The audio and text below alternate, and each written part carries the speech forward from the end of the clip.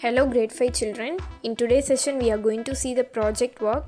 Now all of you just take page number 41 in your companion book project time 4D. So read out the question. Make at least 10 pairs of cards using chart paper to play the memory game. Each pair of cards will have a problem on one card and approximate solution on the other. Children for this we have to make at least 10 pairs of cards. Using your chart paper you can create it. So for this in the one card you have to write the actual sum. So here one example sum has been given for you that is 1001 divided by 10. In another card they have taken as 100. So in this if you are finding the approximate value for 1001 the answer is 1000 and if you are approximating 10 the answer is 10. So 1000 divided by 10 the answer is 100. So the solution for this approximate value is given on the other card. So like this you have to prepare some pairs of cards.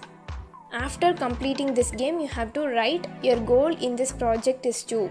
Then you have to write what are the materials you have used for this project.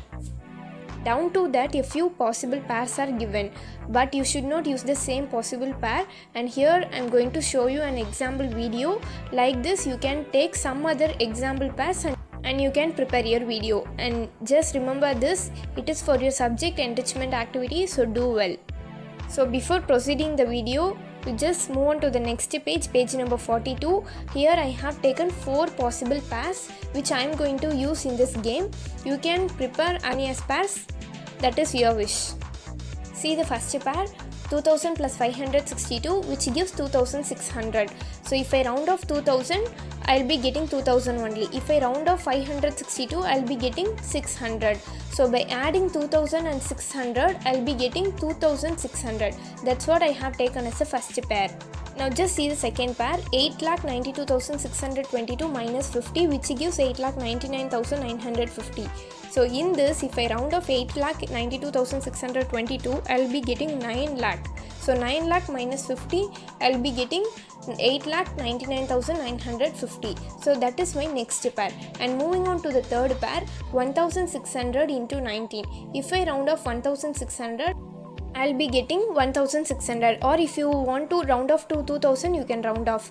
And if I round off 19 I'll be getting 20 so 1600 into 20 which gives 16 twos are 32 so after that we have to add 3 zeros in that. So see the next pair. 62509 divided 26 so after rounding off 62509 I got 60000 so if I round off 26 I got 30 so 60,000 divided by 30 you will be getting 2000. So if we are creating the pairs of numbers like this it will be easy for us to play the game.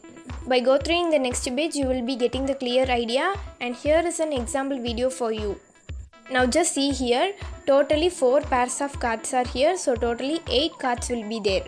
This you also have to face down the card.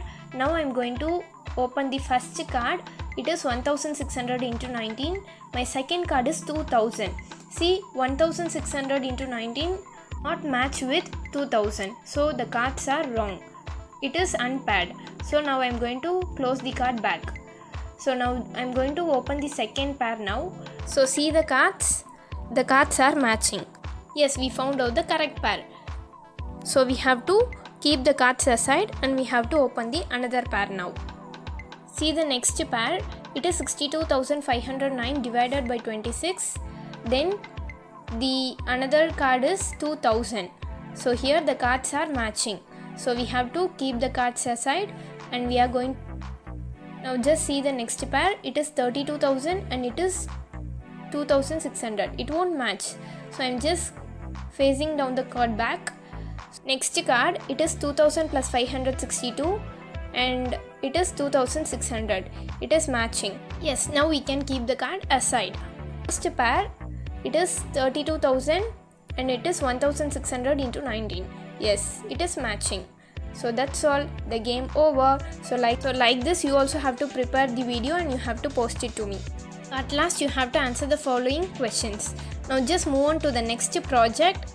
It is project 8d so your next project is 8D. For this you have to prepare a flip book uh, with the pattern pictures with the series of pictures that varies gradually from one page to the next. So if you are turning the next page, it has to create an animation effect.